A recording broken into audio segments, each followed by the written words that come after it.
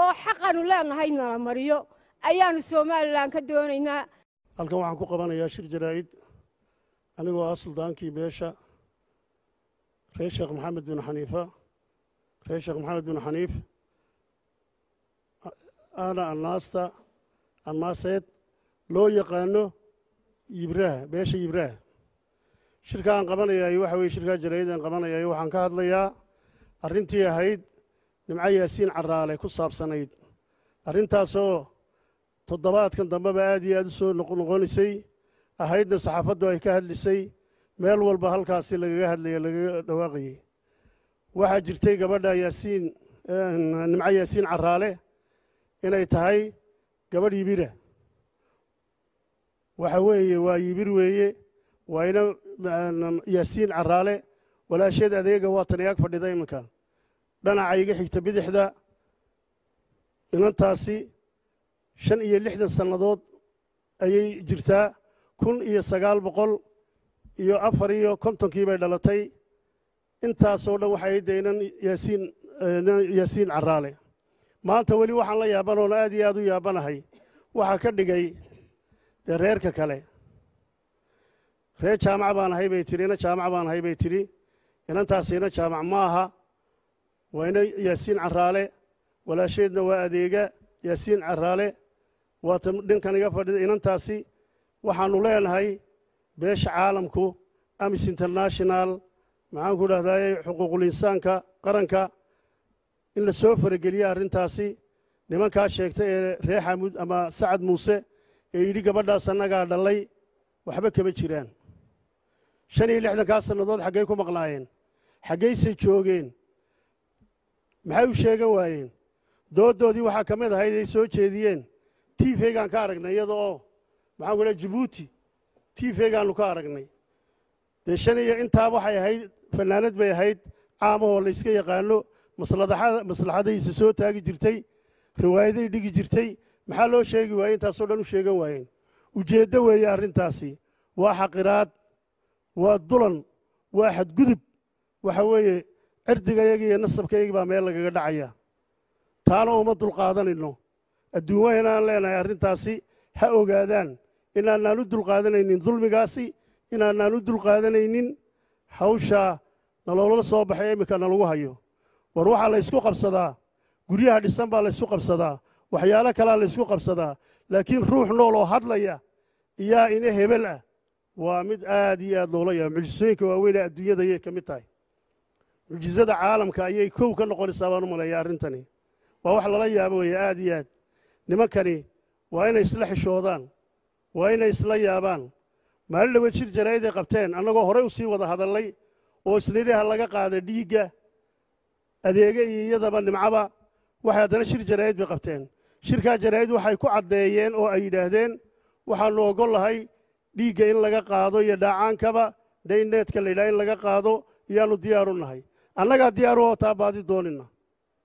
Adeegaannu ka qaadinnaa iyada ha laga soo qaado meel ha laysugu keeno adduunyada ka mida tukrigaannu raalli ku nahay waxaannu raalli ku nahay london in lagaga qaado malesiyaannu raalli ku nahay ha keenaan inantaa ayagaa furay kiiskaas ha keenaan. Inay keenaan baan dooninaay ummadda somalilan u soo bandhigaan ummadda somalilan ay u soo bandhigaan ay keenaan sidaan adeege yaasiin uga keennay sheekh sheekh baannu adeege ka keennay waatan dhinacaygay fadhidaa. Waxaannu rabnaa dhineedka in laga qaado aynu ku kalsoonoon raalli ku nahay. Haddii ay sidaa u soo diyaargaroobi waayaan go'aanka ay maxkamaduhu ka gaadhaan dee maxkamadaha go'aankaasi u yaallaa go'aankaana maxkamadaha iskale oo insha allahu tacaala keeni doona ciddiina jaraa'idka ka hadli shirka jaraa'id qabatay iyagaannu ka rabnaa cidda ay keeni lahaayeen ee gabadhan ka mas'uulka ah. Yaasiin caraale cidda ka mas'uula iyagaannu ka rabnaa ha keenaan dowladda horteeda ha keenaan maxkamadaha hortooda ha keenaan hay soo taagto ha naga garbaxaan qoladaas.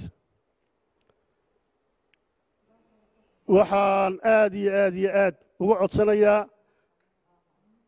waxgaradka saxaafadda salaadiinta cuqaasha indheergaradka dhammaan jamhuuriyadda somalilan waxaan ka codsanayaa arrintaa inay soo fargeliyaan meel kasta ay joogaanba dulmigaa la dhacaya ee nalagu haya inay arkaan. Waxaan u dulqaadanaynana maaha nin waliba waxaan rabnaa halkiisa inuu ka arrintaa uu ka soo galo waana u fasaxan yihiin. Wixii tale iyo tusaale ay ka bixinayaan. Asalaamu calaykum waraxmatullahi wabarakaatu. Halkan waxaa ka hadlaysa adeega yaasin caraale axmed. Nimco yaasin caraale axmed waa walaashay. Hooyada iyo aabbahay baa dhalay. Weyne yaasin caraale axmed reer shiikh qadiimiya baanu nahay. Adduunka daafihiisa iyo dacaladiisa waana laga yaqaanaa. Reer caana baanu nahay.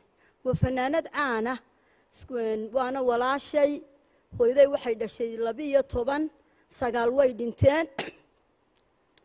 Sagaalkii markay dhinteen anigo anigo aniga adeega ii bixisay annaga iyo nimcana wiil baa noo dhexeeyey wiilkii wuu dhintay. Wiilkii wuu dhintay dabeeta nimcaa dhalatay waxaan hooye aniga adeegaad ii bixisay. Nimcana maxaad hooye nimco ugu bixisay waxaad tihi hooye waan fool badin jiray. Markaa markay dhalatay ilaahay baan ugu xamdi naqay sidaasaa nimco ugu bixiyey? Cawil baa dabeeta dhashay. Anigu waxaan dhashay koob iyo kontonkii. Nimcana waxay dhalatay afar iyo kontonkii. Cawilla wuxuu dhashay kun iyo sagaal boqol iyo lixdankii.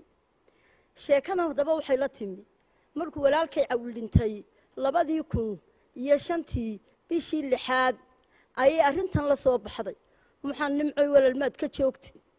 Yaa reer yaasin caraaleynu nahay oo waxa awowgeen waxaa la caraale yibir. Nimcooy reer caana baynu nahay.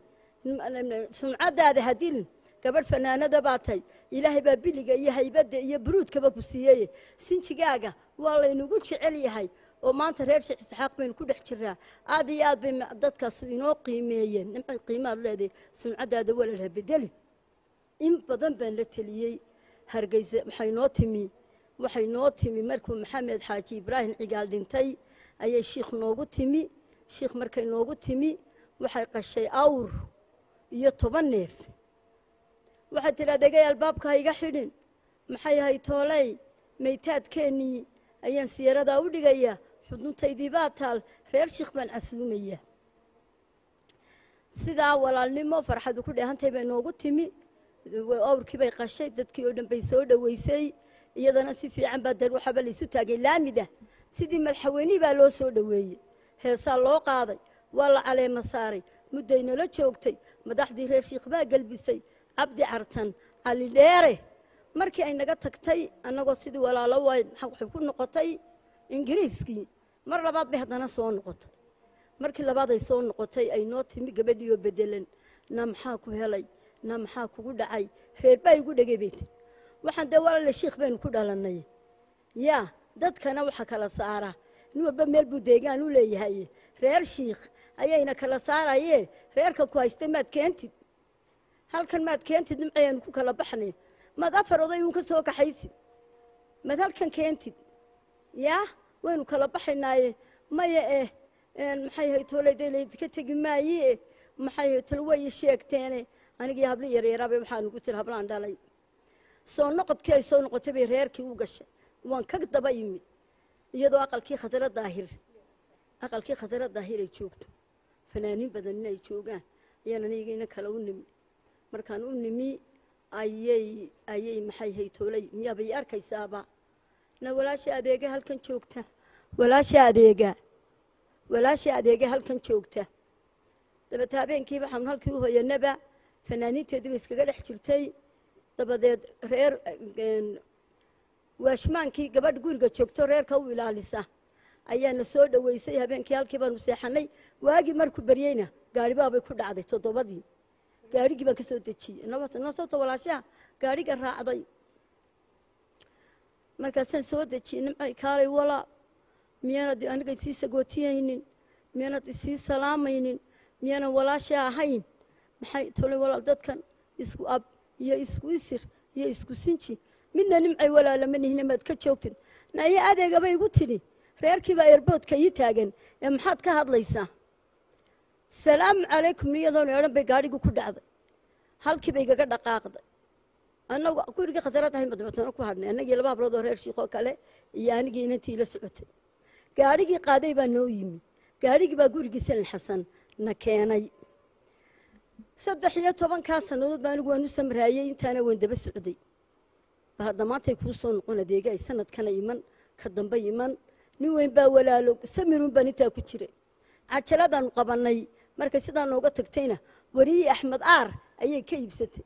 Islaamuhu markaa may wada dhiman way wada noolaayeen.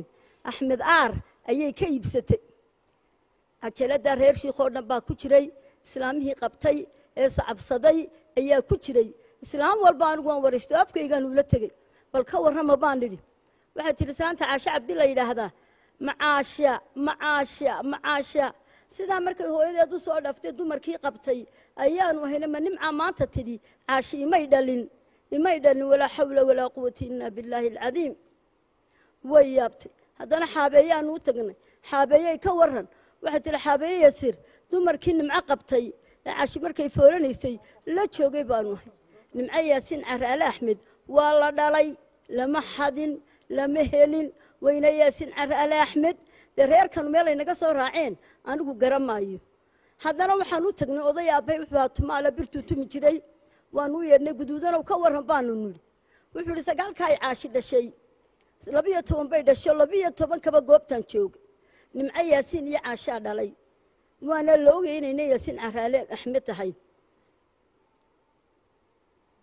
inayna yaasiin caraale axmed tahay waa la ogaya anigoo magacaygu yahay khadar maxamed cabdi. Waxaan halkan ku qabanaa shir jarayd oo baryahanba ku jiray baraha bulshada. Taasi oo baraha bulshada isdhex marayey shirkaa jarayd wuxuu noqon doonaa insha allah hawsha nimco yaasiin caraale oo ah gabadhaydii haddii aanu ka waranno koleba nimco yaasiin mar hore ayay sheegatay oo labada kun iyo shantii ayay ahayd wakhtigay sheegatay balse laakiin markaa danka maanaa lahayn oo keligeed baa hadlaysay waanu isku aamusnay. Laakiin hawshii iminka intiiba ka dhaaftayoo dee nimankii sheeganayaaba t v-ga soo istaaga waxa dhi annagaa dhalay. Tana kicisay maanta annagana kicisayna waa taas. Nimankana waxaan ka odhanaya hal mid baan ka odhanaya iyagana. Waxaan leeyahay reexa midow. Gabadhaa nimco yaasiin calaale annagaa dhalay waa naag yibrada naag midgaana maaha naag gabooyana maaha waa naag yibrada haddaad leedihiin annagaa dhalay caddaynteedii baa laliga rabaa annaguna caddaynteedii waanu haynaa oo walaasheed oo nalaag fadhida. Ayaa joogtaa de waddankuna sharci buu leeyahay. Sharcigaas aynu la tigsanaynaa. Kamana hadhayno. Meel alla meeshaad joogtaan ayaa laydiigu imanayaa d n n ka ayaan diyaaru nahay. Habeenii maalin waan taagannahay walaasheedna waanu haynaa. Maxkamaddana dacwadda annagaa u furaynaba idigoo idigu gaadhinba annaga ayaa furayna dacwadda. Wax laydiga hadhayo reer xaamidow ma aha suldaan ninkan boqorka sheegtay ee boqor badmadow waxaan leenahay boqor badmadow matay boqor been madow baa tahay. Haddaad realitiga hayso oo runta hayso wixii aad hayso la kaalay maxkamad baa jirta ku dacwo. Annagu kaaga hadhi mayno bismi illaahi raxmaan raxiim halkan waxaad ka hadlaysa layla dubad axmed. Waxaan ahay naag reer bin xaniifa reer bin xanafa. Waxaanu nahay quruun yibra-ah waxaanu u doodaynaa oonu u taagannahay nimco yaasiin caraale waxaanu ka hadlaynaa nimco yaasiin caraale aniga walaalkay baa qabi jiray anigoo yar bay gurigayaga joogi jirtay. Anigoo yar ayaan weligayba aan la joogay. Waxaan leeyahay nimco yaasiin caraale nimanka ku soo ambaday ee sheeganayo maynu dhalin. Yaasiin caraalaa dhalay waana la yaqaanaa. Beesha reer shiikhna way istaqaanaa. Wixii soo lumay iyo wixii ku soo kordhay quruun weliba way og tahay. Quruun weliba way ka warhaysaa wixii beesha dhex jooga. Ilmaha ku dhasha waa laga warhayaa. Ilmaha soo gala waa laga warhayaa ilmaha ku soo kordha waa laga warhayaa. War nimco yaasiin caraale waa ku soo ambateen